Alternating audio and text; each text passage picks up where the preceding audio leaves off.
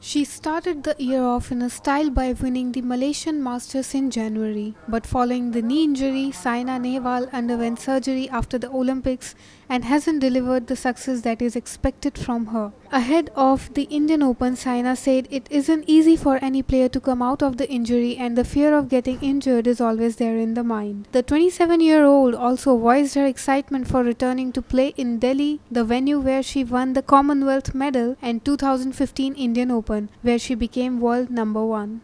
Thank you, everyone. Uh, uh, thank you, Badminton Association of India, for inviting me for the press conference. Uh, um, Delhi has been very special uh, to me because of the Commonwealth Games gold as well, and uh, of course the India Open uh, 2015 when I became world number one.